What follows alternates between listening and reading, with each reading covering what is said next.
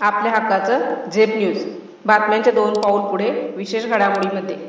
सोलापूर जसं गिरणगावचं औद्योगिक शहर म्हणून ओळखलं जातं तसं हॉस्पिटल डॉक्टरी पेशात दैविक नाव लौकिक आहे.